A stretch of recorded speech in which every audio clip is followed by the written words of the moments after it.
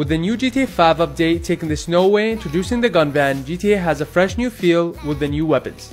The gun van is located on the right side of the map and it brings three new weapons, the EMP launcher, the combat shotgun, and the railgun. The EMP launcher disables vehicles for a few seconds, giving you the opportunity to kill a player or rob the vehicle. The combat shotgun is quick to shoot and has a fast reload so it can easily be used in a fight or missions without any worry for damage or speed. The railgun is overkill in my opinion because it's like a sniper and a rocket launcher in one. It has okay accuracy but it is faster than a rocket launcher which means it is easier than ever to hit planes and faster vehicles in GTA 5 Online. Hope you guys enjoyed the review and peace out.